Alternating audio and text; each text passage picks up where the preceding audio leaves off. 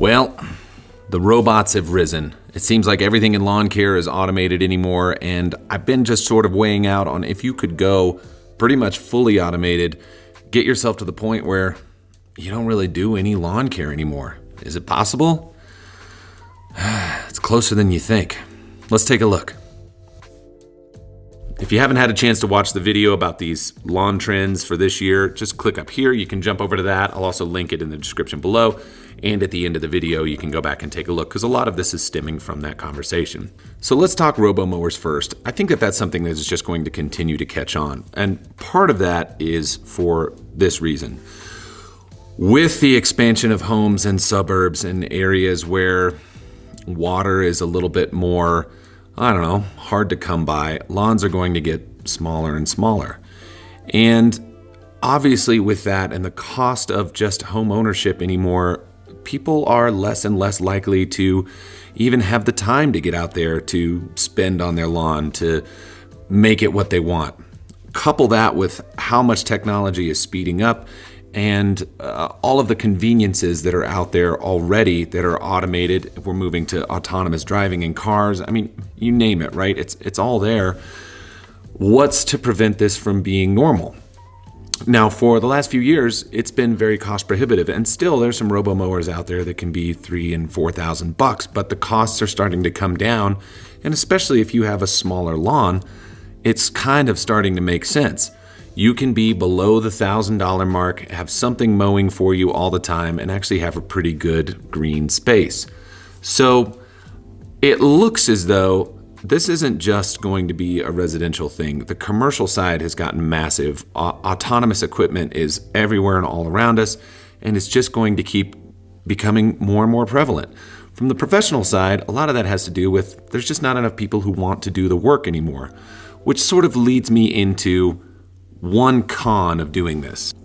So I have two boys, nine years old. They'll be pushing 10 this year. Uh, I started them on the lawn last year, pushing around the uh, Toro 60 volt that I have.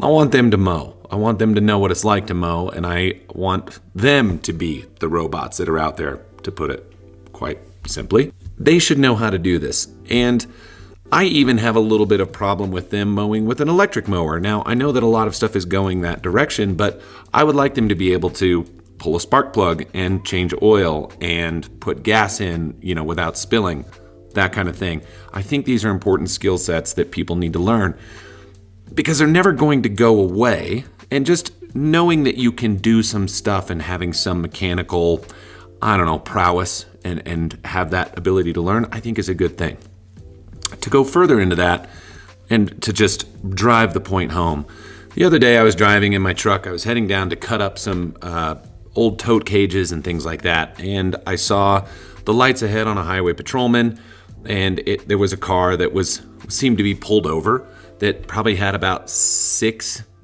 guys in there. I don't know, late teens to early 20s, all standing outside. Looked like it was going to be something fun, some sort of drama. It wasn't the highway patrolman was changing their tire. That was so irritating.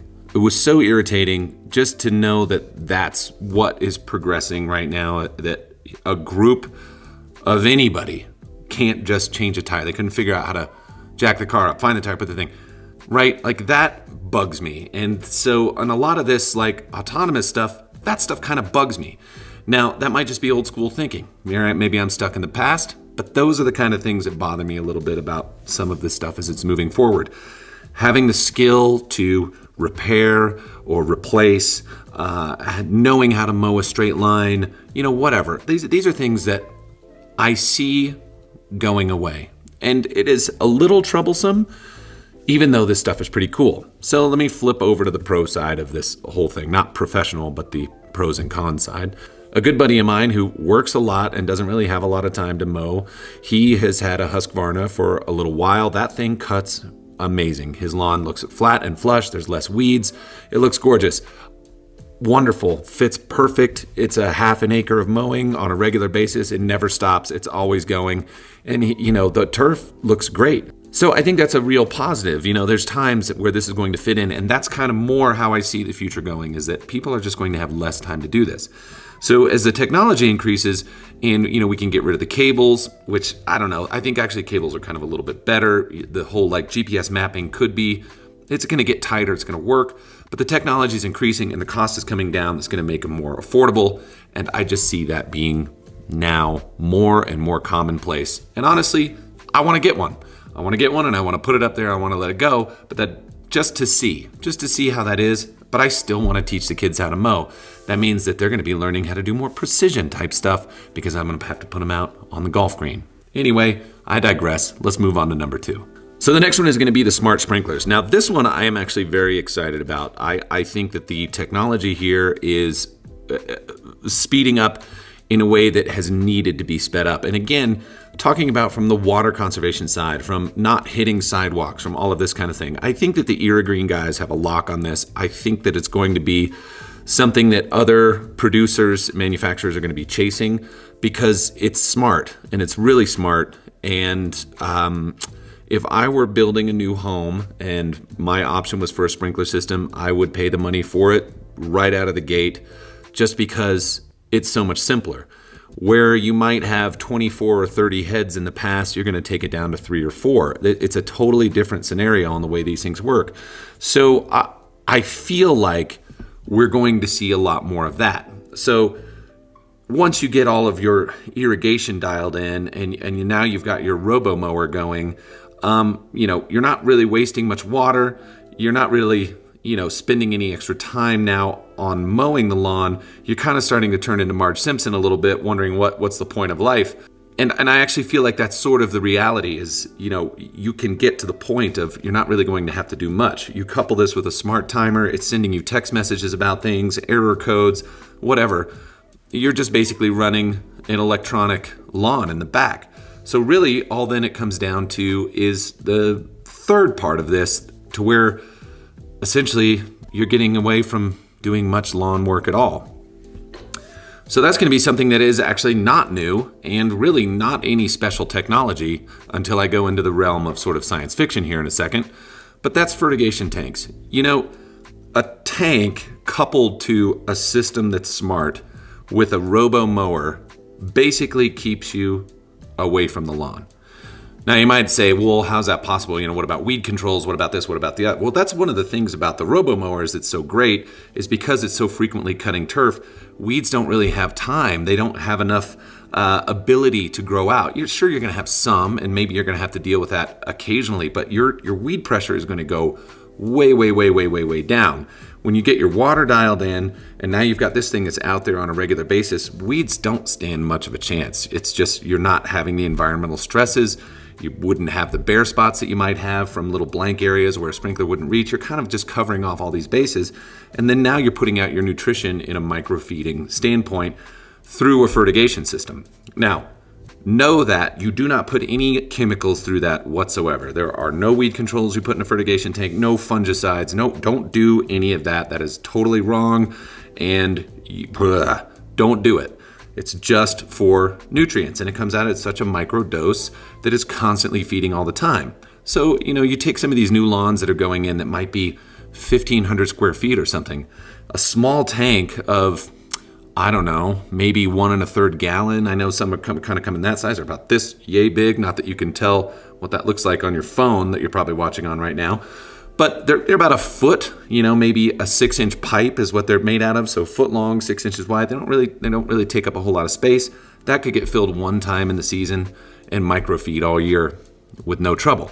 Now, some of those take flowable powders and liquids. Some of them are liquids only. You, you kind of have options. So for those of you that don't like fertigation tanks, I know there's a lot of people trying to develop this sort of, I, I I hesitate to say it, but sort of drone fertility machines. That's not anything that I think is going to come uh, to the homeowner market anytime soon, but let's just design one real quick, go into the realm of what's possible. So that way, when you do see one, you heard about it here first. I have a Roomba in the house with a tower that self empties, and that thing, um, I loved it in the beginning. Now it seems like it's reached the age of retirement. It just doesn't seem to do what it's supposed to anymore. Like it backs up and is like, yeah, I don't feel like it today. And then it goes back to its station. However, that thing got me thinking if you were to have, I don't know, one of these small little auto mowers, um, it wouldn't really need to carry a whole lot of weight that went to a tower that you could fill up once a season with a 40 or 50 pound bag of fert. It could load in a couple of pounds and it could actually track where it's fertilizing and it could do it all the time. And that thing could just take a few pounds onto its into a little hopper and just drop little prills here and there. No trouble. There you go. Million billion dollar idea. I don't know what it is. I don't know what the market is for this stuff, but if you're out there and you're a designer, first one in, just remember John said it first. So, you know, think about that for a second. It is possible to do one on the backs of some of these mowers that would just be putting out microfeeding on a regular basis, even with granular.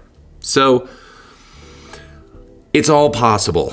At this point, you could have a completely programmable lawn that you don't really have to do anything but enjoy.